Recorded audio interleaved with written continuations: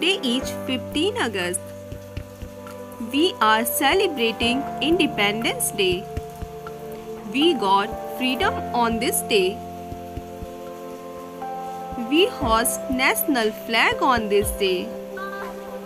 We sing our national anthem. We dress up like freedom fighter. We eat sweets on this day. It is celebrated with full joy. It is a national holiday.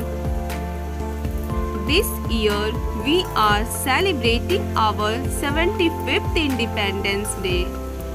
Let's be proud to be Indian. Happy Independence Day to all of you.